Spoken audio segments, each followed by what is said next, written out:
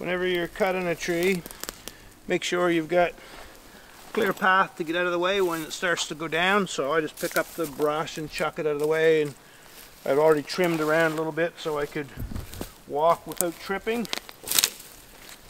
I look all around. You look up. That's the most important. That's where you can get hurt. If there's something up there that's going to fall, it's coming down a long ways, it's going to hurt or do damage. This one looks like it's clear.